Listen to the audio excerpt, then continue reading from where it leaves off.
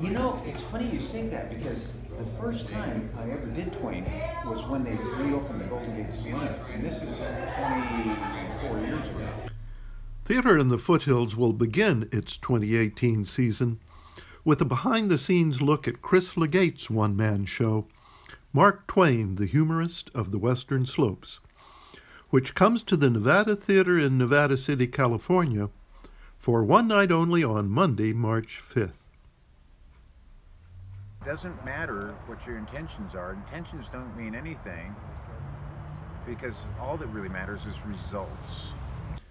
The Theatre in the Foothills team followed Chris LeGate as he canvassed the communities of Grass Valley and Nevada City to promote his upcoming show, visiting local businesses and entertaining the people on the street with his jocularity and flair for improvisation.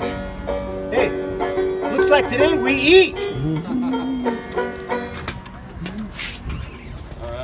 Tickets are available at the bookseller on Mill Street in Grass Valley and down at Union Plaza at the Harmony Bookstore. You can get them there, and you also get them online at brownpapertickets.com. I got stories about that.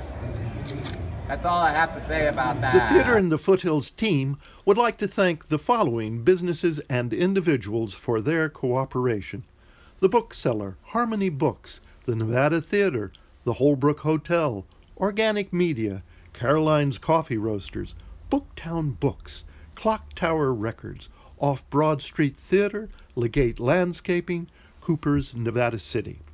Chris LeGate, Alvis LeGate, Kika Kane, Carolyn Maginot, Terry Kirschner, Matt Heilman, Grover Cleveland, Tom Taylor, Angie Kelsey, Rachel Gillespie, Allison Denton, John Driscoll, and Jan Kopp. This program was shot in Grass Valley and Nevada City, California.